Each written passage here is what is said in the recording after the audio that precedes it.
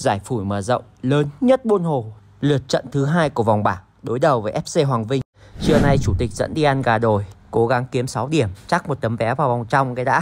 Anh em nào mà khán giả của Phủi Đà Nẵng thì chắc là nhận ra ba gương mặt này. Có thêm sự bổ sung của ba anh em đến từ GFDI, Tiền Đạo, An Dương Vương, Quang Gia Lai và cùng với những cú sút chân trái sấm sét của Khánh Dêm.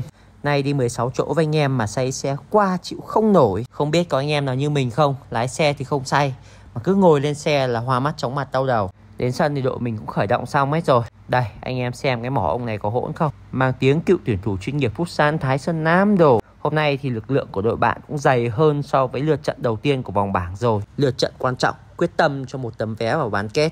À quên, chiều nay cái chân trái khéo nhất của đội mình, Huy Leo đã có mặt anh em nhé. Ok, anh em cùng theo dõi lại một vài tình huống đáng chú ý trong trận đấu này với mình nhé. Trước khi diễn ra trận đấu này, chúng ta đã được chứng kiến rất nguy hiểm. Lưới của các cầu thủ Hoàng Minh đã rung lên. Cú đá ở cự ly rất xa. Một cú đá chìm rất khó chịu. Bóng đi lướt. Xoay sở khá tốt. Khánh dềm Dứt điểm từ xa. Cú đúp dành cho Duy Khánh. Việt Trồn cũng đã bỏ lỡ một cội rất ngon nào trong hiệp một và đây là một tình huống nữa tạo ra được kiến tạo vừa rồi một tướng sẽ setup tấn công không có sai số đến từ các thủ OCB Lucifer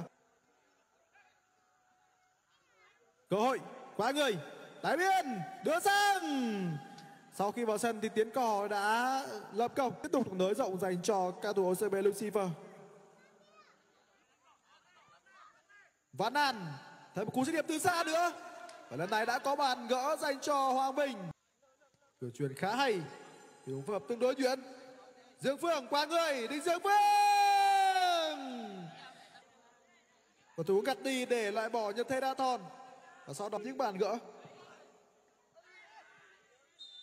Tiếng còi của trọng tài đã vang lên. Tình huống này cũng là tình huống cuối cùng để khép lại trận đấu rồi.